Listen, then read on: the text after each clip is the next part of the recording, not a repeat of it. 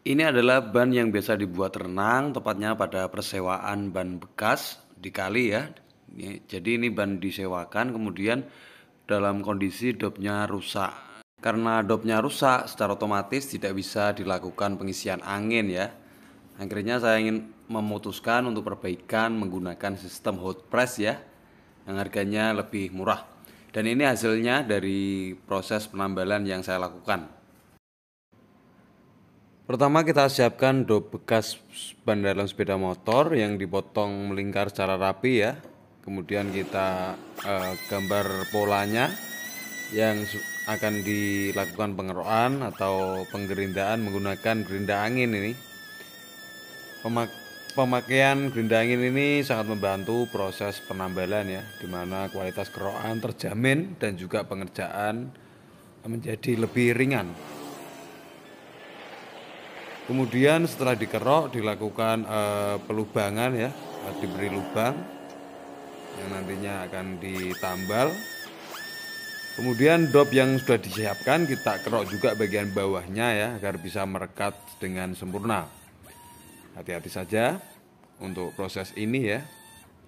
Yang paling penting juga uh, hasil kerokan bagus dan merata. Jadi kulit bannya sebisanya terkikis ya, semua kulit terkikis dengan rapi. Kemudian kita pakai atau gunakan cushion gum ya. Ini biasa dipakai untuk perbaikan ban luar, digunakan untuk nambal ban luar ya. Atau ada juga yang menggunakan ini sebagai media lem.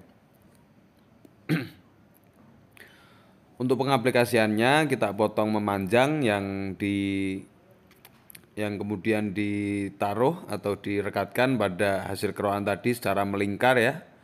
Kemudian dop yang sudah disiapkan ditempel dan juga dipres ya. Nah, sebagai informasi ini aku gunakan uh, pemanas elektrik merek NVR yang khusus untuk perbaikan dop jebol. Jadi bodinya memang asli bolong dari pabrikannya, bukan dari hasil modifikasi ya. Ini aku juga jual harganya Rp150.000 per piece. Untuk pembelian bisa dilakukan dengan cara COD ya.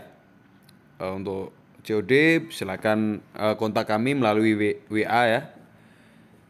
Dan ini dop yang eh, rusak ya, kondisinya seperti ini jadi tidak di, bisa dilakukan pengisian angin. Kita colokkan ke listrik pemanasnya ya setelah sekira dua menitan ini lampu mati ya. Kemudian ditunggu sampai uh, beberapa saat, mungkin lima menitan ya ditunggu. Ini sebagai indikasi bahwa ini benar-benar panas ya. Kita siram pakai air bukan maksud apa-apa, tapi untuk menunjukkan buka, bahwa video ini bukan rekayasa.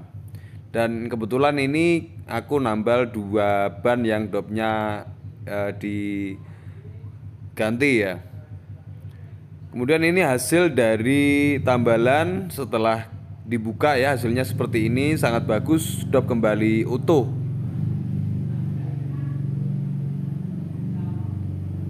Kemudian pasang ring dan mur dari dopnya ya hasilnya lumayan bagus.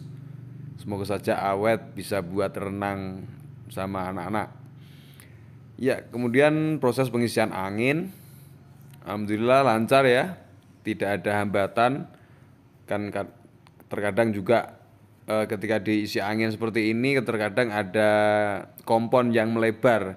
Dan kebetulan ini kompon yang digunakan pas ya jadi tidak menutup lubang pada e, dop atau valve ya. Nah hasilnya seperti ini